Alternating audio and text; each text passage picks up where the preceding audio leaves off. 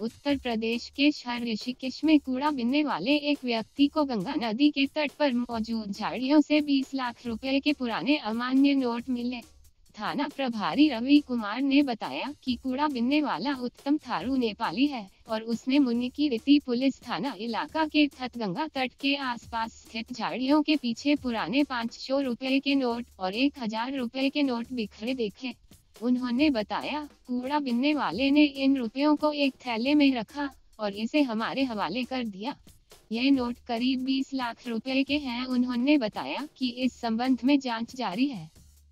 उत्तर प्रदेश के शहर ऋषिकेश में कूड़ा बिनने वाले एक व्यक्ति को गंगा नदी के तट पर मौजूद झाड़ियों से 20 लाख रुपए के पुराने अमान्य नोट मिले।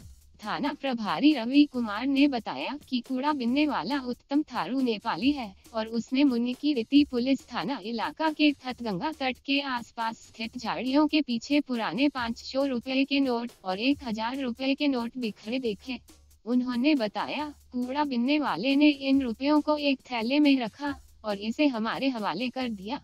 ये नोट करीब 20 लाख रुपए के हैं, उन्होंने बताया कि इस संबंध में जाँच जारी है।